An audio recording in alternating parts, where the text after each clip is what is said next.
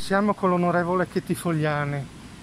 Sì, buonasera, buonasera a tutti. Eh, parliamo in questo momento di autonomia L'autonomia che è tanto richiesta e tanto voluta dal nostro governatore Luca Zaia e da tutti i più di 2000 elettori veneti che sono andati a votare per il referendum il 22 ottobre del 2017 e che sono ancora in attesa di una risposta.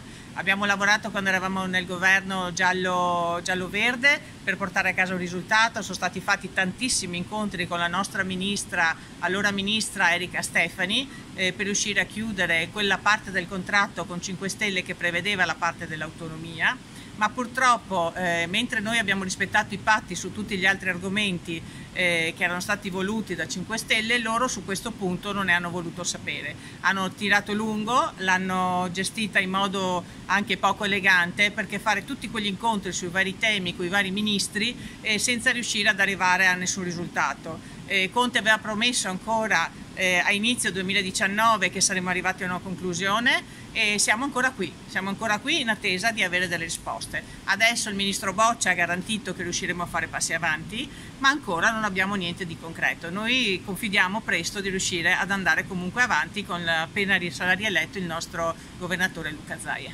Grazie.